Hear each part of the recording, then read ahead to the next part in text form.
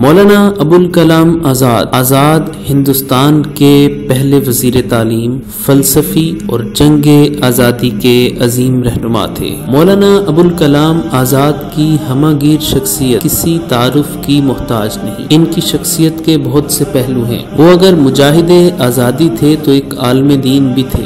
انہیں قرآن فقہ، علم الکلام، علم الحدیث پر غیر معمولی قدرت حاصل تھی۔ وہ ایک عظیم خطیب، زبردست صحافی، عظیم دانشور، بلند پایا مفکر، ماہر تعلیم ہونے کے علاوہ صحافی شاعر اور ایک بہترین ادیب بھی تھے۔ مولانا ابوالکلام آزاد کا اصل نام محی الدین احمد تھا۔ وہ اٹھارہ سو اٹھاسی کو دنیا کے مقدس ترین مقام مکہ معظمہ میں پیدا ہوئے۔ عربی آپ کی مادری زبان تھی۔ مولانا کا بچپن مکہ معظمہ اور مدینہ منورہ میں گزرا۔ ابتدائی تعلیم والد سے حاصل کی اور پھر جامعت الازہر مصر چلے گئے۔ اللہ نے انہیں حافظہ اور ذہانت کی دولت سے فراغ دلی کے ساتھ نوازا تھا۔ انہوں نے تیرہ چودہ برس کی عمر میں فقہ، حدیث، منطق اور ادبیات پر عبور حاصل کر لیا تھا۔ مولانا کی ذہنی صلاحیتوں کا اندازہ اس سے ہوتا ہے کہ انہوں نے سب سے پہلا رسالہ ماہنامہ نے رنگ عالم اٹھارہ سو انانوے میں جاری کیا۔ اس وقت مولانا کی عمر صرف گیارہ برس تھی۔ پندرہ سال کی عمر میں نامہ جریدہ لسان الصدق جاری کیا، جس کی مولانا الطاف حسین حالی نے بھی بڑی تعریف کی۔ انیس سو چودہ میں الہلال کے نام سے پرچہ نکالا۔ یہ اپنی طرز کا پہلا پرچہ تھا۔ ترقی پسند سیاسی تخیلات اور عقل پر پوری اترنے والی مذہبی ہدایت کا گہوارہ اور بلند پایا سنجیدہ ادب کا نمونہ تھا۔ مولانا بیک وقت عمدہ انشا پرواز، جادو بیان خطیب، بے مثال صحافی، ایک بہترین مفسر تھے۔ مولانا کو بیسویں صدی کے بہترین اردو مصنفین میں سے ایک سمجھا جاتا ہے۔ مولانا آزاد نے کئی کتابیں لکھی جن میں غبار خاطر، انڈیا ونس فریڈم، ترجمان القرآن سر فہرست ہیں۔ مولانا ابو الکلام آزاد نے قرآن و حدیث و فقہ کا گہرا مطالعہ کیا۔ مولانا ادبی، سماجی، تاریخی اور سیاسی تحریروں میں قرآن کے حوالے موجود ہیں۔ رانچی قیام کے زمانے میں ترجمان القرآن ترتیب دیا اور فقہ اسلامی کی روشنی میں الصلاح و زکا اور ان نکاح اور دیگر تصانیف مکمل کی۔ مولانا کی زندگی کا بڑا حصہ ادبی اور سیاسی میدان میں گزرا۔ مولانا نے انیس سو چھ کو ہفت روزہ الہلال کا پہلا شمارہ شائع کیا۔ اس کا اہم مقصد ہندوؤں اور مسلمانوں میں اتحاد پیدا کرنا تھا۔ حکومت نے الہلال پریس کو ضبط کر لیا تو مولانا نے البلاغ کے نام سے دوسرا اخبار جاری کیا، جس میں ادب، تاریخ، مذہب اور معاشرت کے مسائل بیان کیے جاتے تھے۔ البلاغ کو مذہبی تبلیغ کا ذریعہ بنایا گیا۔ جنگ آزادی کی طویل جد و جہد میں جو شعلہ بیان مقرر پیدا ہوئے، ان میں مولانا کا نام سر فہرست ہے۔ مولانا ایک بے باک مقرر تھے۔ جب وہ کسی موضوع پر بات کرتے تھے، تو ان کا ایک خاص پروکار اور پرجلال انداز ظاہر ہوتا تھا۔ مولانا کے کارناموں میں غبار خاطر کو ایک اہم امتیازی مقام حاصل ہے۔ غبار خاطر مولانا کے ان خطوط کا مجموعہ ہے جو انہوں نے دوسری جنگ عظیم کی نظر بندی کے دوران مولانا حبیب الرحمان شیروانی کو لکھے۔ اگرچہ مولانا سیاسی مسلک میں آل انڈیا کانگریس کے ہم نوا تھے، لیکن ان کے دل میں مسلمانوں کا درد تھا۔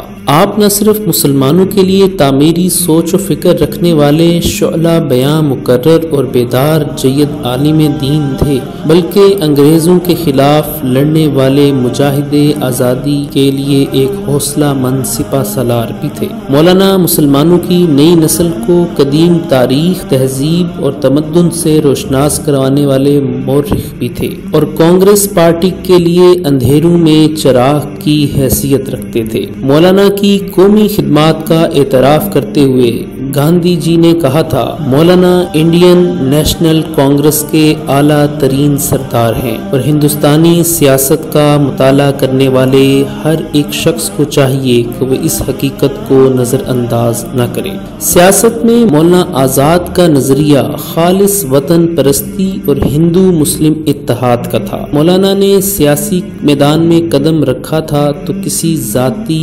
مفاد یا نام و نمود کی خواہش کے لیے نہیں، بلکہ ان کا خیال تھا کہ مسلمان جنگ آزادی کے مرکزی دھارے سے ذرا بھی ہٹتے ہیں، تو اس سے ملک اور قوم کو نقصان ہوگا اور ملک میں نفرت کی دیوار کھڑی ہو جائے گی۔ اپنی تقریر میں وہ نہایت ہی جذباتی اور انقلابی تھے، مگر ان کے سیاسی نظریات جذبات کی پیداوار نہیں تھے۔ مولانا کی شخصیت کا اعتراف کرتے ہوئے پنڈت جواہر لال نہرو نے کہا تھا، میں سیاست کا طالب علم ہوں اور میں نے سیاست کی کتابیں ہندوستان میں سب سے زیادہ پڑھی ہیں۔ یورپ کے دورے میں سیاست کا قریب سے مطالعہ کرنے کا موقع ملا اور میں سمجھتا ہوں کہ میں سیاست کے اعلیٰ ترین علم سے واقفیت حاصل کر لی ہے۔ لیکن جب ہندوستان پہنچ کر مولانا آزاد سے باتیں کرتا ہوں تو معلوم ہوتا ہے کہ وہ بہت آگے ہیں۔ طویل جد و جہد کے بعد ملک کو آزاد آزادی ملی تو ملک میں عبوری حکومت قائم ہوئی۔ ابتدان مولانا آزاد اس میں شریک نہیں تھے۔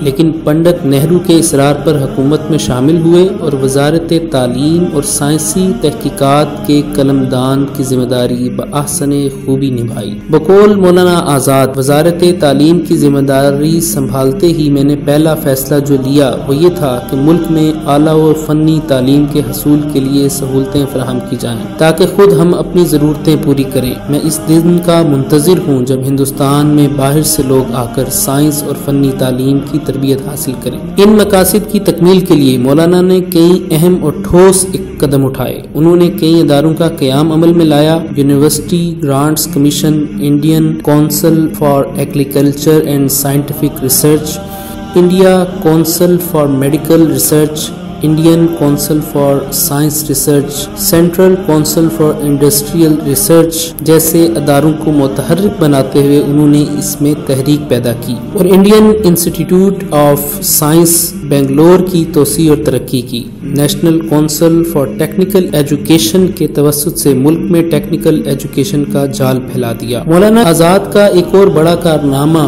یہ بھی ہے کہ انہوں نے فنی تعلیم و تربیت کے لیے انیس سو اکاون میں Kharagpur Institute of Higher Technology کے قیام کو عمل میں لایا۔ مولانا آزاد آخری دم تک ملک کی اعلیٰ اور فنی تعلیم کے لیے ہمیشہ کوشاں رہے جدید ہندوستان میں انیس سو سنتالیس سے انیس سو ستاون تک فنی تعلیم کی سہولتوں اور ان سے استفادہ کنندگان کا جائزہ اس بات کو ظاہر کرتا ہے کہ مولانا کے دو وزارت میں اعلیٰ و فنی تعلیم کے ارتقاء کے لیے جو کارہائے نمایاں انجام دیے، رہتی دنیا تک ملک کے عوام اسے یاد رکھیں گے۔ نیز جدید ہندوستان کی تعمیر میں مولانا نے اہم حصہ ادا کیا۔ مولانا آزاد کے نام سے ہندوستان میں حسب ذیل، تعلیمی اور سرکاری ادارے منسوب کیے گئے، جن میں مولانا Azad national Urdu Bhopal, Maulana Azad medical college, نئی Delhi Maulana Azad National Institute of Technology, Azad Institute of Dental Sciences, نئی دہلی، اور مولانا آزاد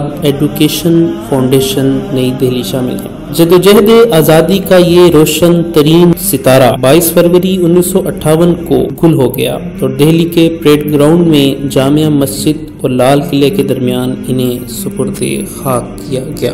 آغا شورش کاشمیری مرحوم نے ابوالکلام آزاد کی وفات پر یہ شہرہ آفاق نظم کہی۔ عجب قیامت کا حادثہ ہے کہ اشک ہے آستی نہیں ہے۔ زمین کی رونق چلی گئی ہے، افق پہ مہر مبین نہیں۔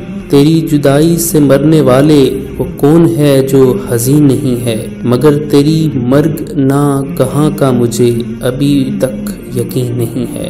اگرچہ حالات کا سفینہ اسیر گرداب ہو چکا ہے، اگرچہ منجدھار کے تھپیڑوں سے قافلہ ہوش ہو چکا ہے، اگرچہ قدرت کا ایک شاہکار آخری نیند سو چکا ہے، مگر تیری مرگ ناگہاں کا مجھے ابھی تک یقین نہیں ہے۔ کئی دماغوں کا ایک انسان، میں سوچتا ہوں کہاں گیا ہے، قلم کی عظمت اچڑ گئی ہے، زباں کا زورے بیاں گیا ہے۔ اتر گئے منزلوں کے چہرے، امیر کیا کارواں گیا ہے، مگر تیری مرگ ناگہاں کا۔ مجھے ابھی تک یقین نہیں ہے۔ یہ کون اٹھا کے دیر و کعبہ شکستہ دل، خستہ گام پہنچے، جھکا کے اپنے دلوں کے پرچم۔ خواص پہنچے، عوام پہنچے۔ تیری لہت پہ خدا کی رحمت، تیری لہت کو سلام پہنچے۔ مگر تیری مرگ ناگہاں کا مجھے ابھی تک یقین نہیں ہے۔